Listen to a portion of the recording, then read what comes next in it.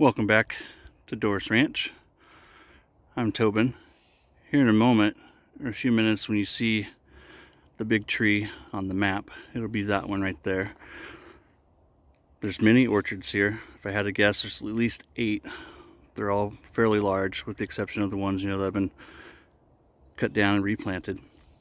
This one here is the same one that I've shaven in and recorded from before. My first shave was last winter and I used Plunder. And then I used Amazelnut from Barrister and Mann, Plunders by Noble Otter. And then I used batch 214 from Bricktown Grooming. And I used Holy Black Soap for that.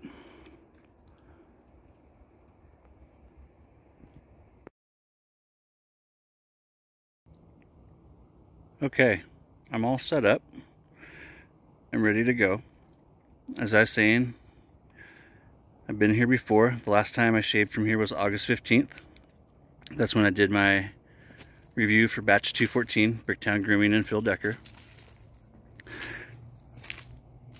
I'm back here today for another review. I wanted to get this done a few days ago, but the air quality index has been absolutely horrible. We've been dealing with wildfires, which is usual for the Pacific Northwest. And uh, but the smoke has been sticking around a lot longer than we wish. Today's air quality index is at 174. 0 to 50 is good. 51 to 100 is moderate. 100, 101 to 150 is when you start getting into the unsafe zone anything over 150 is hazardous and once you get over 200 you don't even want to go outside. And as I was saying when I left the house we were at about 174 I believe it was. The last few days it's actually been higher so I've been hoping and waiting for this to clear off because I really wanted to come back here for this shave. And I do apologize for the delay especially to Douglas and Francis and Huxley. They sent me this soap as a gift to review. And I have the soap set is actually what they sent me. And that is for Otra. Otra is Spanish for other. It is a fougere. I have shaved with it four or five times now. Absolutely love it. I've worn it as a cologne to work on several occasions. Three days, I believe it was. And I've worn it around the house. Here's my setup. Tripod in the tree, my mirror, my towel. I'll be using my finest badger, or best badger, from Razor Emporium, my 1951 Bakelite handle Gillette Tech. Inside my vintage blade case, I have a first use Platinum Strangelet, my Phoenix Scoop, matching splash, and my stainless steel bowl that I'll soak my brush in and use for rinsing off my razor in between passes. Okay, I'm all set up. And first I want to say how good it feels to be out here. And again, thank Doug, Fran, and Hooks for the opportunity to review the soap and to again apologize for my delay. I probably should have just done this from home, but I love doing these outdoor shaves and it's been too long. I just kept saying tomorrow the weather will be better. Tomorrow the weather will be better. It's been sunny, it's been dry. That's part of the problem. It never got better. So here I am a week later, October 10th, Thank you. It's given me plenty of time though to get to know Otra. Otra is a fougere. Uh, real quick so I can put this in my pocket. I have loaded my razor with a first use um, platinum strangelet. And every time we go on the outdoors, we take out what we brought in and we take nothing with us. So it's take nothing, leave nothing approach to going into the outdoors. My badger brush my captain's choice.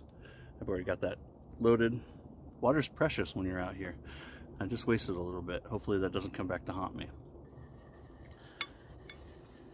And I'm absolutely loving this fragrance. It is, first let me just let me say that it is, like most fougères, it is subtle, it is delicate, it is beautiful. It starts off with florals.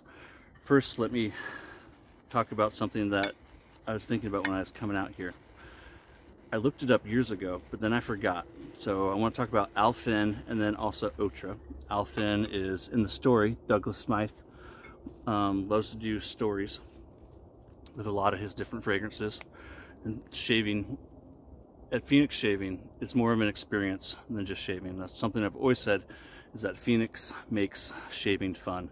And Douglas Smythe gets us. He gets the wet shaver. And because he gets the wet shaver, is because is is the reason why we have this word that you see on the label for Alfin and on the label of Otra, and that's esoteric. And I do believe that when I first got Alfin, I looked it up, but I couldn't quite recall. So I did look it up, and esoteric is basically think like inside joke, but it's intended for Oxford. Oxford says intended for or likely to be understood by only a small number of people with a specialized knowledge or interest. So basically, if you're not a wet shaving wet shaving hobbyist, you likely won't understand the rest of this video.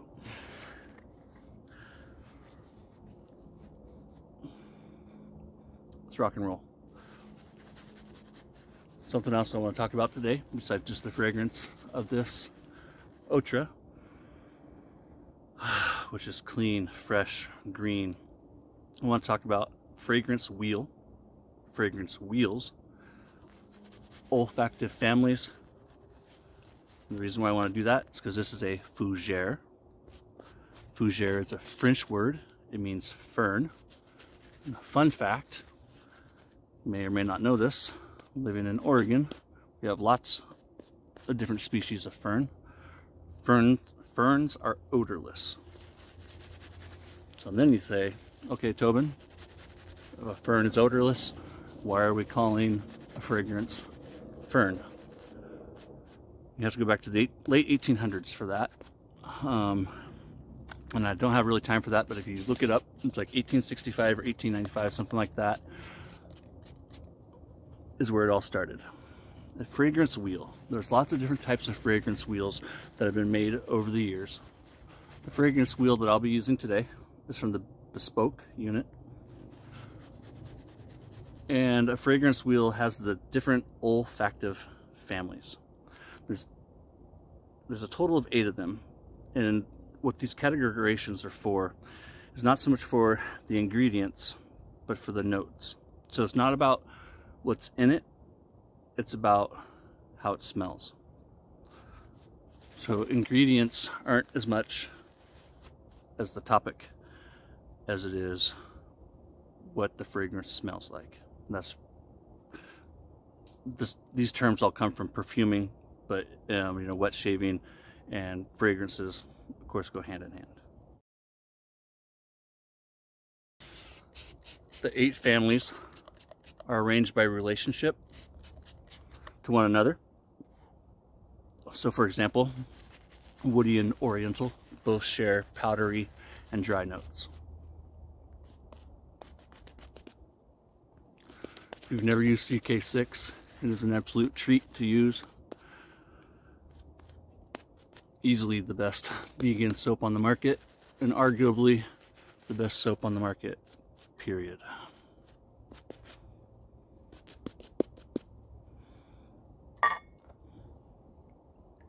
So, probably have you wondering, what are the eight categories? I got my mirror right here to the right.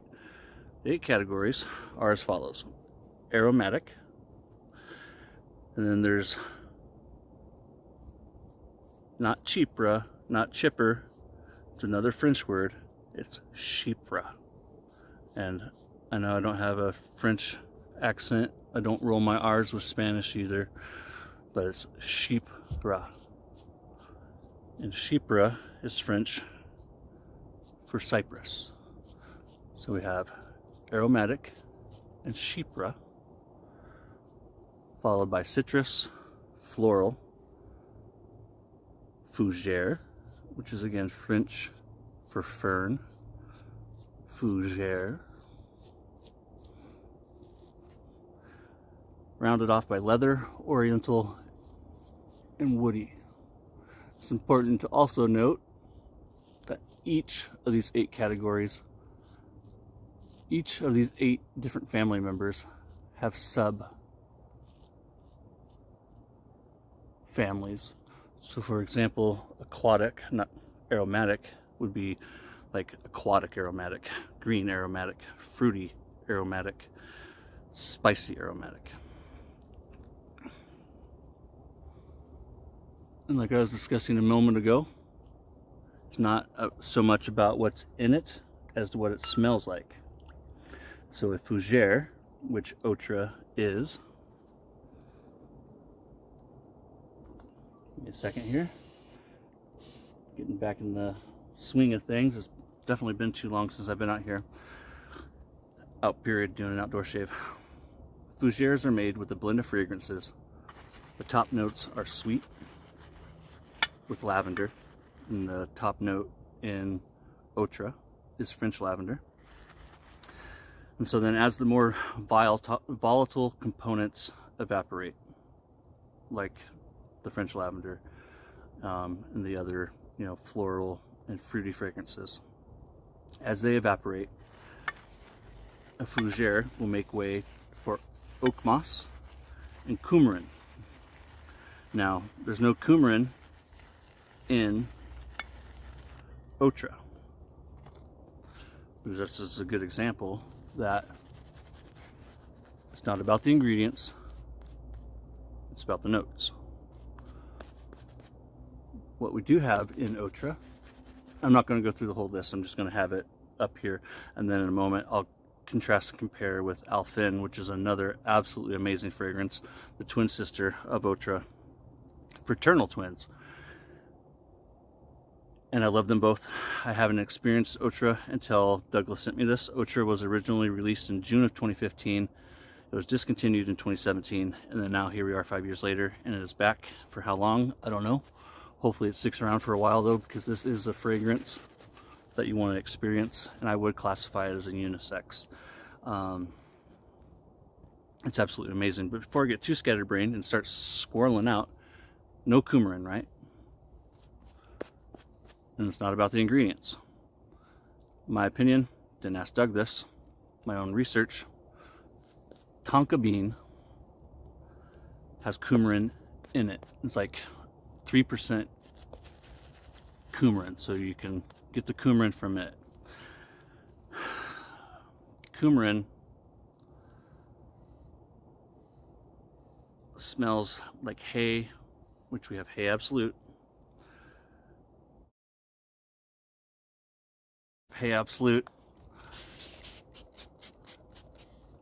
And so if you look at these ingredients, I believe some of the ways that he's coming up with these coumarin scents. And coumarin is banned from food ingredients in America. So I don't know if that's why, of course, it isn't in here. That's what I assume. There's no coumarin in it for that very reason. Could be wrong.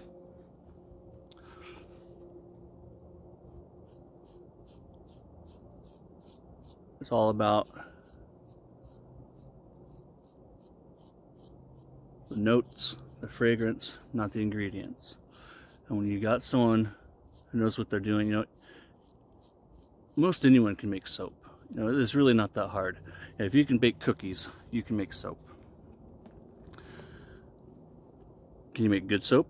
I don't know. I can make cookies, but I can't make cookies like my wife does. Um, blending fragrances, I believe that's a, a science in itself.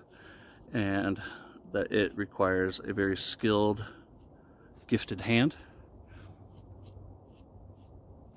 And that's exactly what you will find with Phoenix Shaving, is that Douglas and Francis have a passion for this, and because of it, you get these expertly crafted, perfectly blended fragrances.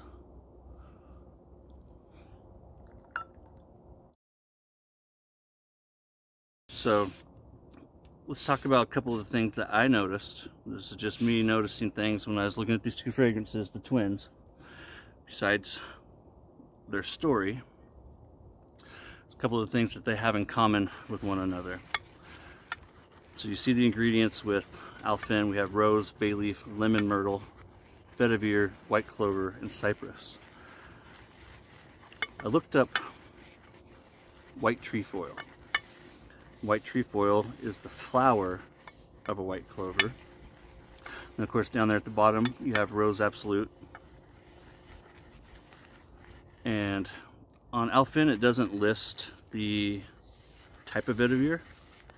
If I recall correctly there's like three or four different types of vetiver. It is listed on Otra as Haitian.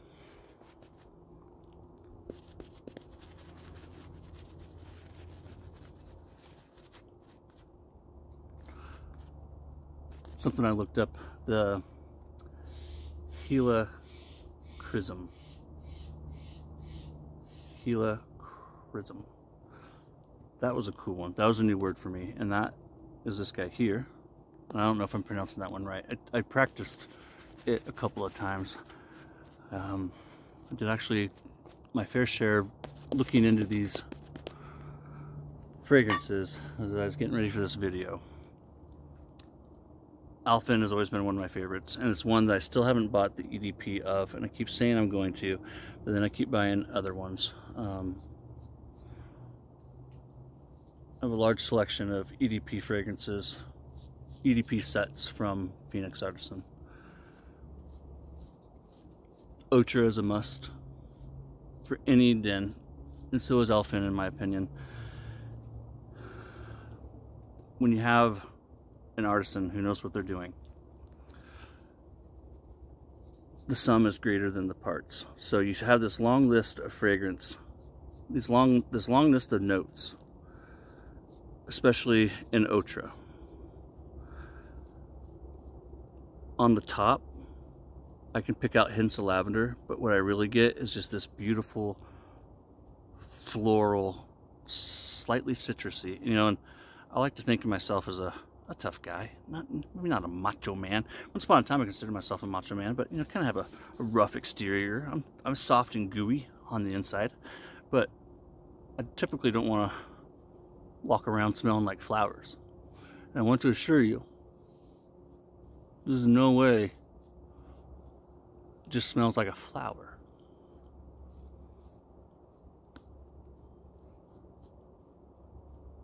The sum is greater than the parts. But it starts off slightly floral with a greenness to it. I can, from the uh, aftershave, the cologne, I can pick up notes of lavender. I have it on the back of my hand. From there, though, it turns into this woody, very like outdoorsy green environment like I'm in today. Um, where it really becomes magical. They've taken all these notes that you saw or see, depending on how I put this together. There's even, you know, bamboo in there. I don't smell bamboo. I, I, I tried, like all these individual notes, I tried picking out different ones. Normally, I can pick vetiver out of anything. Two of my favorite fragrances, I was talking about this the other day. Vetiver Planet from Phoenix Artisan, which is not currently available, and Monstrasso, which is a fall seasonal release that isn't available. I love vetiver. But this is so perfectly crafted and put together that once you get into the heart notes, into the middle of it, with the splash, it's hard for me to, oh, I'm full on doing another lather. Um, I was just gonna do some cleanups. It's hard for me to pick out any one note, and that's because they've really done an excellent job. Yes, it starts out floral and green. It continues to be green and earthy, and then you can kind of round it out into this wood notes. But to try and put just one word or one label on this is extremely difficult for me to do, and I've been trying to do that. But what I can tell you is that is seductive, and I mean that. Um, my wife, so two fragrance, I love a lot of fragrances. Um, just go with recent examples. Black Shroud and Thought Forms from Phoenix Artisan. I'm just to clean this up and clean it off. It's easier than dirtying up my towel. I have the samples of those, so those are not yet released. She didn't care for those. And I thought for sure that she would appreciate the thought forms. She didn't. And, you know, they, will probably grow on her. Um, you know, when Tokyo Rose first came out in my review, I gave it an 8 out of 10. And now it's a 10 out of 10. That, that scent has absolutely grown on me. But immediately, she was in love with this. And it is just one of those fragrances that 8 out of 10 women are going to love. I got so many compliments at work. Some of you know uh, I'm a coach operator, a transit operator, a bus driver. I drive intercity transit, drive a big fancy bus. So I get in close proximity with a lot of people that I don't know and they don't know me. I got a couple compliments from men that were co-workers. Three different ladies, two of them on the same day, stopped dead in their tracks. The one lady said, what smells good? And then she realized it was me. And then the other lady, she walked in, took a deep breath, and gave me the biggest smile. And she says, you smell really good. And I wanted to tell her, I'm taken. This is a 10 out of 10. Right out of the get-go. Tokyo Rose was an 8 out of 10. I fell in love with it. Shave Chaser, that's the other soap I've had the privilege to do a review of for Doug and Fran. It was a 10 out of 10, right, right out of the gates. I've been waiting for Shave Chaser for years. I'd actually asked Doug about it three or four years ago. And as soon as as soon as it came, I was just 11 out of 10. I was upside down, excited with it. I have the EDP and the uh, solid of it now. But this is a 10 out of 10. I'm going to shoot it to you straight every single time. The links that you find below are not affiliate links. I don't do affiliate links. And the reason why I don't do affiliate links is because I'm a persuadable person and if you pay me enough money, I'll sell you. If you pay me enough money, I would try and sell ice to an Eskimo. But I don't find any respect or honor in that. And so I'm more than well happy to do reviews, especially for guys that I consider friends, like Douglas. And I have soaps and a few other things coming from a couple other companies right now.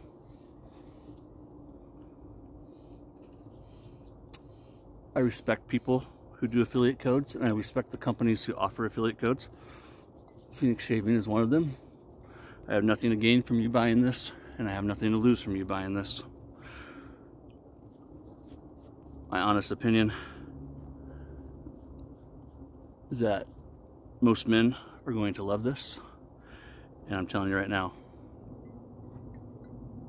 8 out of 10, 9 out of 10 women that you come into contact with will be drawn to the scent.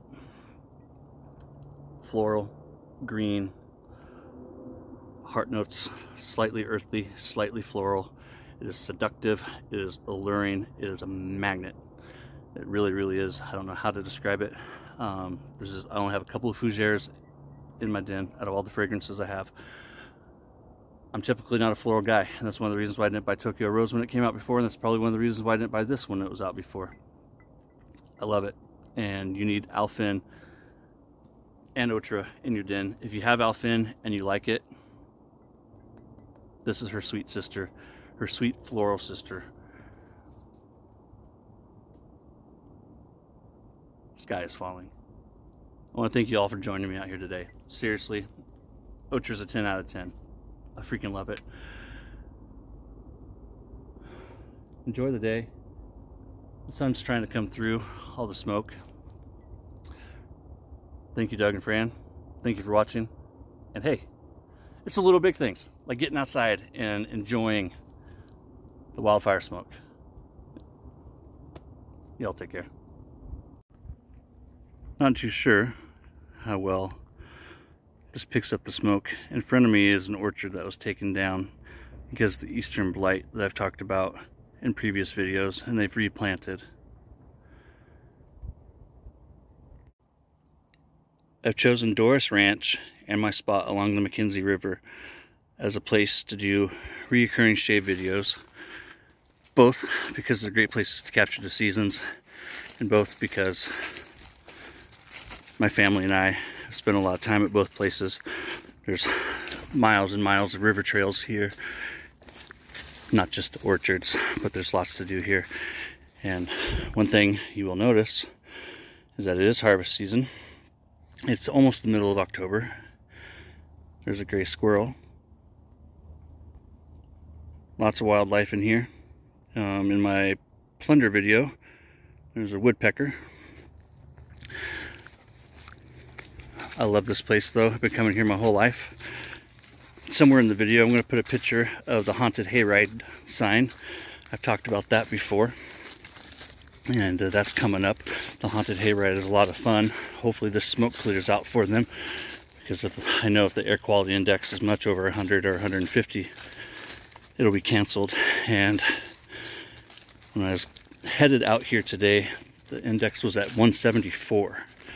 So pretty hazardous.